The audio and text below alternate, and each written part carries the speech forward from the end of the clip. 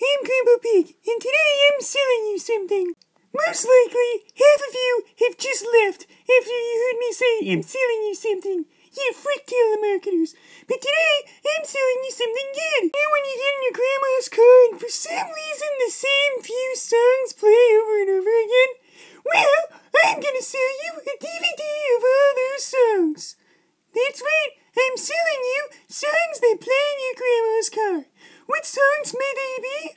Well, you'll know them all if you went inside your grandma's car. So here,